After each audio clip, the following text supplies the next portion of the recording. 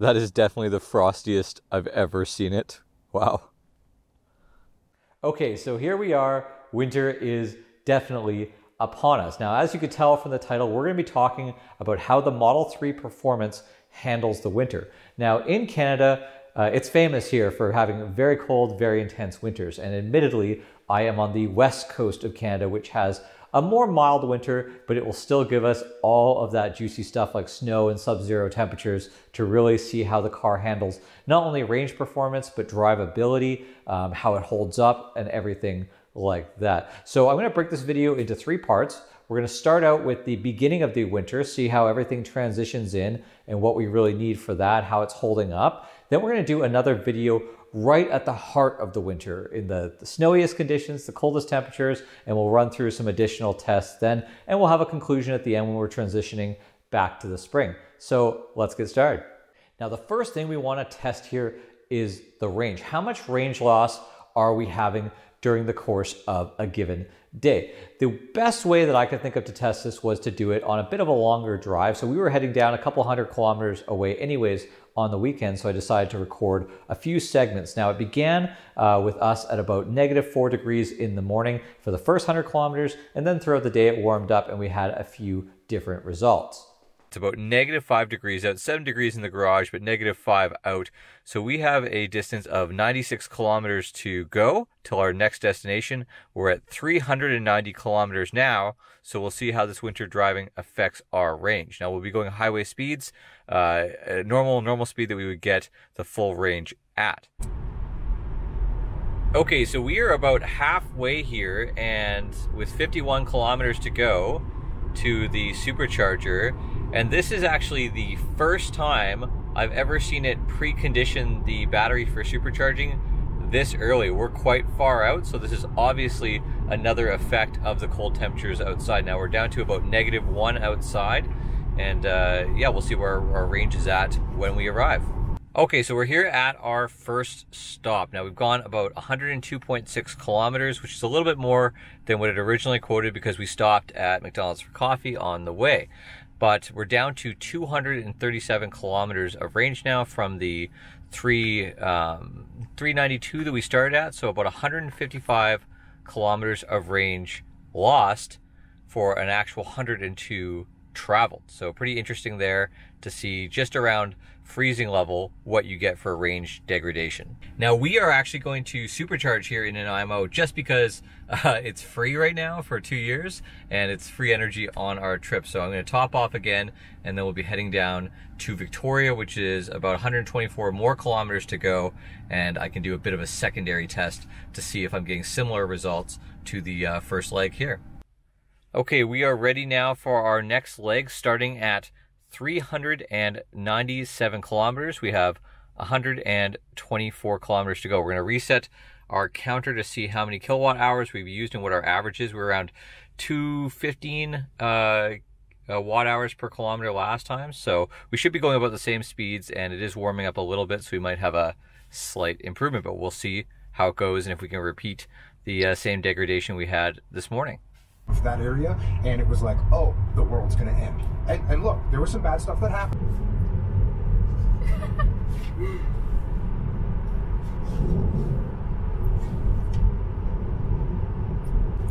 yeah, that's my wife. What's up, Lil?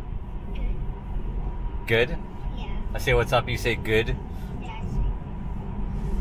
You could say I'm good. Yeah, Canada, the only place that you could have a stoplight on the highway. Okay, now we have arrived down in Victoria, but we've taken uh, a little bit of an earlier stop in order to uh, grab some lunch. But the numbers are pretty interesting now. As you guys can see, it's six degrees out now. We started at negative four, so we've had uh, a large differential in temperature there from when we started this morning. So for this trip, we've actually gone 117 kilometers and averaged 169 watt hours per kilometer. So much better than we did this morning. Now our range is showing uh, 259, so that's that's much better. We've used about what 135 kilometers of range for 117 actually going. So what I think this shows is that anything below zero, you're going to see the largest changes in range, but right now we were not too far off the rated range of the car. Now, as you guys can see there, what a massive difference from that first leg in the morning when we were sub uh, zero temperatures to the later leg when we are at, you know, plus four, plus five. There's a, quite a large difference in the watt hours per kilometer that we were getting on the highway there. Now this will only progress as the winter gets colder, but it's good to see the initial signs and be prepared for it when you are charging.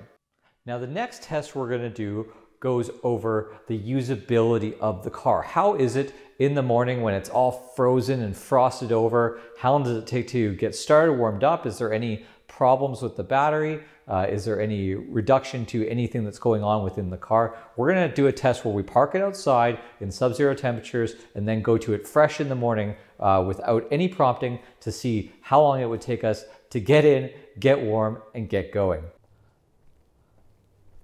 They are mighty frozen.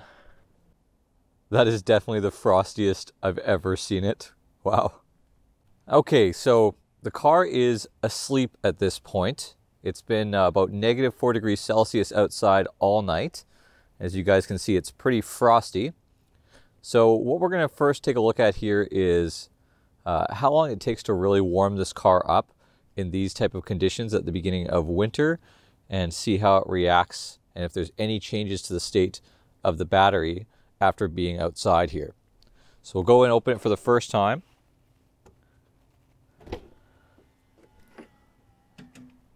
Hear that battery kick on. Whew. Oh yeah. Okay, as you guys can see, a nice wintry negative four degrees there. And the heat's already started to kick on to my uh, preferences there.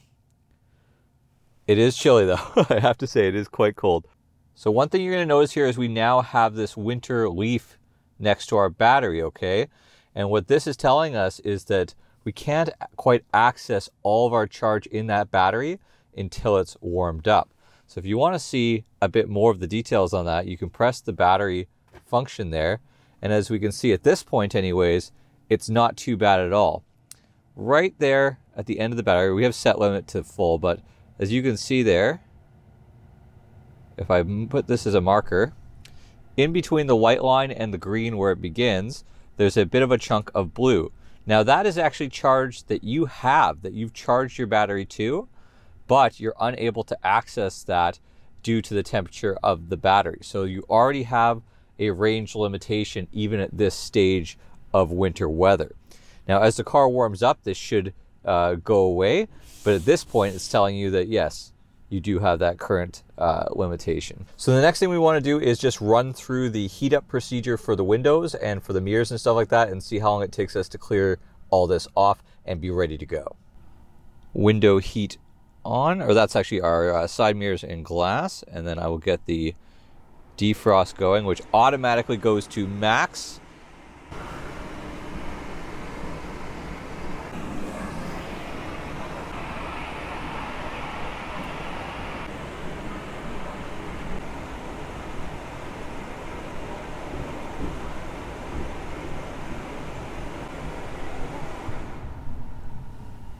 Now that was actually really easy. It only took about three minutes of putting heat on the window for it to be completely clear. And this is this is great, really. And also the mirrors were frosted over as well, and those are now clear. The only thing after a few minutes here that's not cleared off is going to be the rear window. Now I can still see well enough to drive, and if I really want to, I can put on the rear camera on my center display in order to bypass that entirely if it's really required for me to get going. Another thing I want to point out is that even though it was about negative four degrees out, we were still able to get into the car even though it was cold and have the heat come on within really like almost two minutes, something like that. Within two minutes, the cabin was warm enough, at least at this point of winter, uh, for me to really feel comfortable and get going. So not bad at all.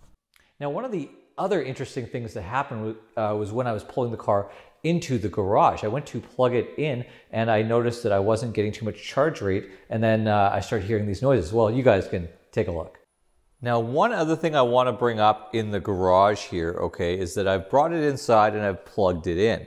And it's only getting seven kilometers per hour. Now, this charger on the wall, the NEMA 1450, is capable of charging at about 47 to 49 kilometers per hour. Um, so not too bad at all. Now the reason why we're only getting six kilometers per hour, seven kilometers an hour, is that the battery is really cold from being outside all night, and that's going to limit its ability to take a charge in general. So what the car is going to do now, and you can hear it running, there's stators that actually heat up the battery inside it that only run in certain conditions. Generally, they use uh, the car's actual heat from the motors to warm up the battery. But in this case, because it knows it's about to take a charge, it's actually going to heat up the battery directly to the point that it's ready to take that charge. And I don't know if you guys can hear that, but there is a distinct sound to those stator heaters inside the battery units actually function. It sounds like almost like a high-pitched hum, and that is not a normal noise that you would hear on the car. And this is, again, a first time for me hearing this. Now we'll come back in a few minutes and see how long it takes for those stators to really get going and to heat up the battery to the point that it's ready to take a solid charge. I also know some of you are going to notice on here that even though we have this low, low rate of charge, we also have been shown that we've gained three kilometers, and you're probably wondering how that is. The reason for this is pretty simple. The stators inside the batteries will actually heat up that unit. So remember that little bit of blue that we had, those kilometers that were temporarily lost? By heating up the battery, those kilometers are instantly regained so that we have those back right away. And that's how you get that fast rate of charging, even though the car is showing right now at five kilometers per hour. Now you're really gonna hear those heaters going now. Again, these are sounds I have never heard the car make. And I also just got one of those little pops in the battery pan, which is just the flexing of the metal in there as it heats up. So the last thing we're going to do is talk about the condition of the car. How is it holding up to the elements? What things are changing and what uh, measures am I having to take to keep the car in good shape? Now the first thing we're going to talk about is cleaning. Now you guys who have watched this channel know I like to keep this car meticulously clean. The rims so far, the winter rims we got from T Sportline, they're holding up really well. There's no scratches or nicks on those so far and the tires as well. Of course, they're very, very dirty as you can see, is the rest of the car. No matter what I do, every day I come home with a whole bunch of uh, stuff on it and it's very hard to keep up with. So overall now, I've given up on my uh, weekend polishes and what I'm really doing is just giving it a spray off about every week or so to keep all the salt off it. Another thing to notice here is the interior. Now the interior of the car is holding up really well. I have not had to put in any uh, anything like special mats or anything like that yet. Just a vacuum uh, has been enough so far. But come later in the winter when the snow really hits, I bet this will change. One last thing to note, guys, is that I have found a lot of stuff getting on the car's cameras, especially those side marker cameras that are on the front fender. So you wanna make sure to check those each day before you're driving to see if there's any salt buildup or anything that's blocking those off because it will affect the safety systems of your car and make them work less efficiently than they possibly could. It just takes a few minutes with a microfiber cloth and you will have those all cleaned off. Okay, so where does that leave us? Now the car does have reduced range uh, below zero degrees, and this is to be expected. But when you do put in a destination, it does take all of this into account. So the car was actually approximating that I would have about uh, 50 kilometers of loss on that 200 kilometer trip when I actually put it in there. So it's not like it's ignoring and having some fantasy hope about the range it will get. The car knows and does adapt in its predictions. So that is good. You just have to be a bit more prepared with your charging state when you leave for a longer journey.